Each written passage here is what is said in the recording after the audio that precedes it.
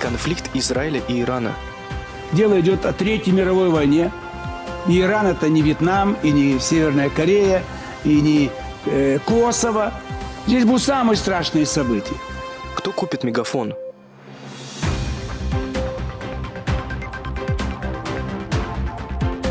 Всем привет! В эфире Univer News, а в студии Амир Ахтямов.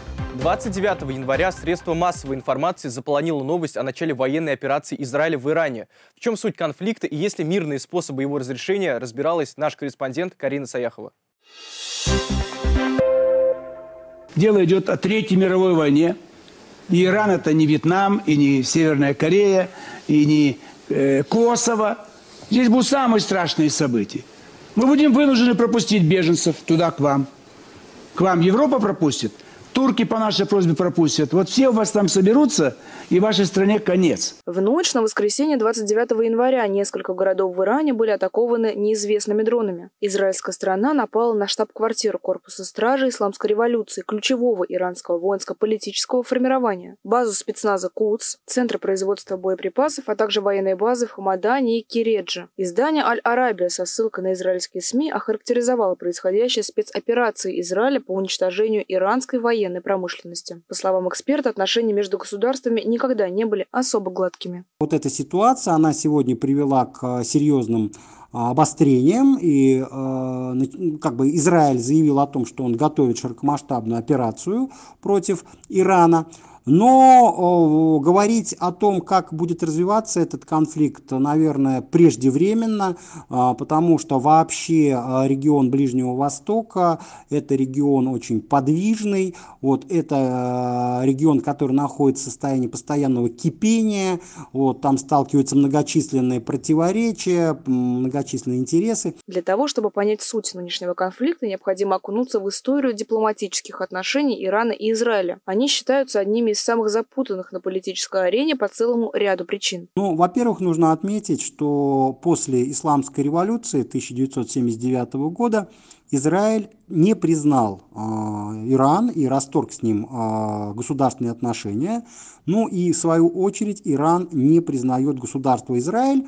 Хотя а, в 2010-е годы были попытки преодолеть это, эти разногласия как бы установить а, межгосударственные отношения, но а, к серьезным, так сказать, изменениям это не привело. Вторым, не менее значимым аспектом данной проблемы является вопрос о том, что Иран занимает самостоятельную позицию в отношении Израиля по сравнению с другими странами арабского мира. Иран – это шиитское государство, а большинство стран Ближнего Востока и Северной Африки – суннитские государства. С этой точки зрения у Ирана есть определенная линия поведения, отличная от других исламских стран. Последний период, а, он ознаменован осложнениями отношений а, с Ираном.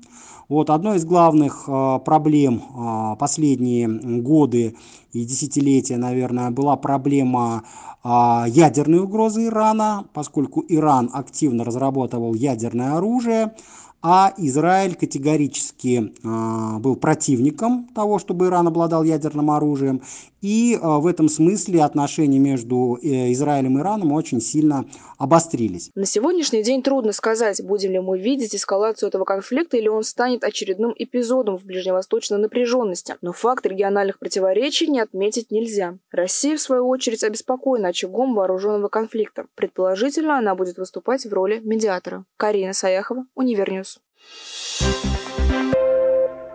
Ростелеком ведет переговоры о покупке мегафона. Подробнее в теме разбирался наш корреспондент конце 2022 года на согласование в правительство России поступил вопрос о покупке Ростелекома Мегафона у USM Group. Также активом интересуются и другие инвесторы, в том числе непрофильные. Предложения о его покупке поступают не первый год. Это происходит в связи с тем, что Мегафон демонстрирует хорошие результаты. Отметим, что в случае сделки на рынке сотовых связей число операторов сократится.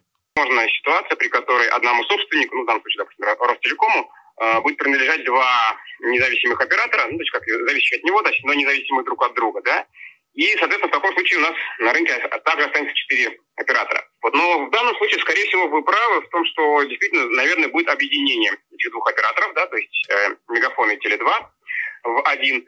И таким образом э, на рынке появится э, новый э, оператор, э, который будет крупнее, чем все э, остальных существующих, в частности, крупнее, чем лидер нынешний э, МТС. В Федеральной антимонопольной службе сообщили, что не получили ходатайство Ростелекома о приобретении мегафона. Более того, данная сделка не может пройти мимо ФАС. Вон такие сделки попадают под регулирование Федеральной антимонопольной службы, которая изучает ситуацию, да, смотрит, как это отразится на рынке. То есть, в принципе, может заблокировать даже э, сделку, если она считает, что это будет плохо для рынка, для конкуренции. Вот. Э, или наложить какие-то, например, определенные ограничения на эту сделку. Вот. Но в данном случае, учитывая то, что Ростелеком является, в общем-то, государственной, э, прогосударственной структурой, соответственно, я думаю, что так иначе эта сделка будет одобрена. Мотивами приобретения сотовой компании могут быть различные. Это желание расширить спектр услуг, отсутствие у конкурентов ресурсов для продвижения бизнеса. Наверное, мотивом продавца, скорее всего, является последствия санкций, которые были введены против российской экономики, э, ДНХ отраслей, да, в частности, э, телекоммуникационное оборудование, большая часть его была импортной. То есть э, сейчас у нас доступ к этим технологиям а, тем более у частных компаний, в общем-то, сильно ограничен, да, то есть доступа почти нет. Вот. Поэтому, конечно, функционирование частных компаний в этой сфере сильно затруднено. Сейчас Ростелеком владеет стопроцентной акцией Tele2, и приобретение второго крупнейшего оператора на рынке после МТС сделает госхолдинг безусловным лидером в мобильном сегменте связи. Аделина Абдрахманова, Univer News. Каждый родитель сегодня уделяет особое внимание правильному развитию своих детей. Стимулировать мозговую активность помогают специальные тренажеры, отвечающие за координацию движений и умение держать равновесие. В чем особенность таких приспособлений, расскажем в следующем сюжете. Подарок ко Дню науки в виде нейротренажеров от ректора Казанского федерального университета Ленара Сафина получил детский сад КФУ «Мы вместе». Это специализированное учреждение для детей с расстройствами аутического спектра. Основа роста, развития и обучения начинается с сенсорного и моторного взаимодействия с миром. Это происходит успешнее в условиях целенаправленной деятельности – рисования, лепки, аппликации и другие. Сенсорная стимуляция и обратная связь управляют мозгом, и наоборот, моторная система управляет сенсорной стимуляцией. Одно без другого невозможно.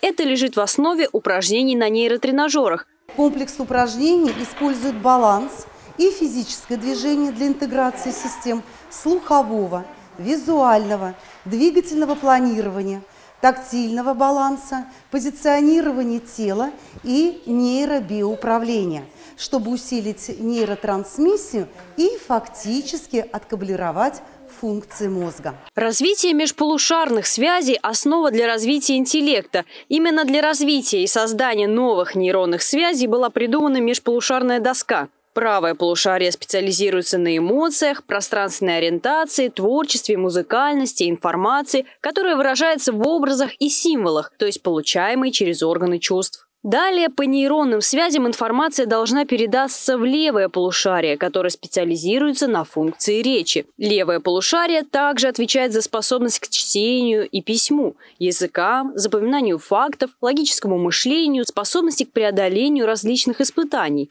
Занятие на межполушарной доске способствует созданию новых нейронных связей и синхронизации работы двух полушарий, повышению концентрации внимания, развитию произвольности, повышению скорости чтения и письма, усидчивости, зрительно-моторной координации, развитию образного и креативного мышления. Кроме того, тренируются мышцы запястья, руки и развивается мелкая моторика. Детская нервная система в момент такой игры получает дополнительные стимулы от рецепторов всех чувств. За счет использования современных нейродвигательных коррекционных упражнений можно легко корректировать слабую двигательную координацию и нарушение ритма, темпа речи. Эти задания помогают улучшить мелкую и крупную моторику, ловкость кистей, развивать способность к выполнению симметричных и асимметричных движений, укреплять вестибулярный аппарат, развивать подвижность плечевого пояса, а также снимать стресс и напряжение и предотвращать нарушения, связанные с восприятием пространства и времени.